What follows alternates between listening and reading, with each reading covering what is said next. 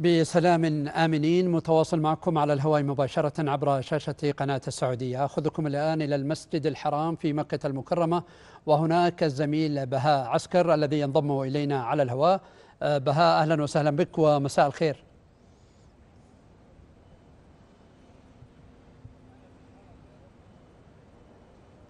نعم محمد أسعد الله مساك بكل خير وأهنئك وأهنئك كافة مشاهدينا الكرام بهذه العشر المباركات.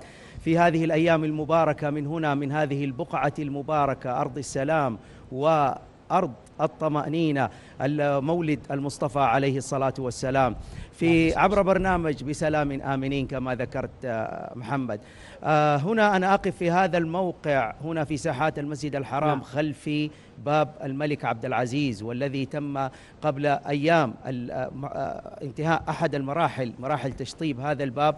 استعدادا بإذن الله تعالى كي يتم فتحه مؤقتا خلال أيام الحج. هذا الباب الذي يعتبر ارتفاع البوابة 51 مترا. ارتفاع المئذنة سيكون بإذن الله تعالى حوالي 137 متر. وقبل يومين وقف معالي الرئيس العام لشؤون المسجد الحرام والمسجد النبوي على سير العمل هنا في هذا الباب.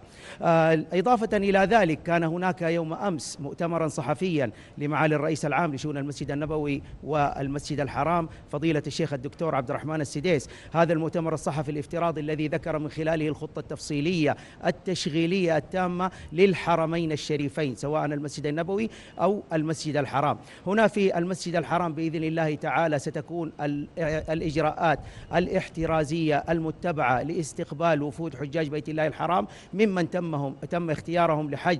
هذا العام ستكون هناك إجراءات مكثفة لدخولهم وخروجهم. تم وضع اشرطه لاصقه على ساحات المسجد الحرام وكذلك على الأسطح داخل المطاف وفي الصفا وفي المروة.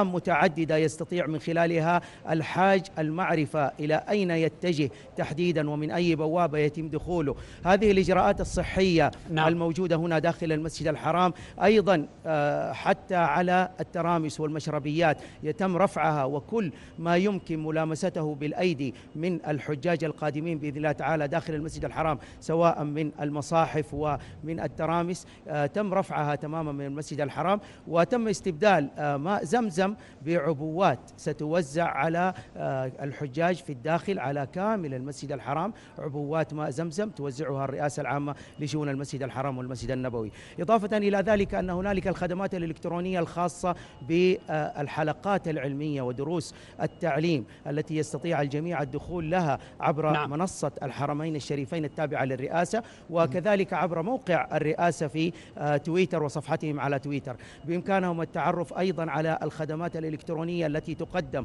سواء من علمية أو مكتبة الحرمين الشريفين المواد نعم. الموجودة بها يتم التعرف عليها إلكترونيا عبر هذه الصفحات.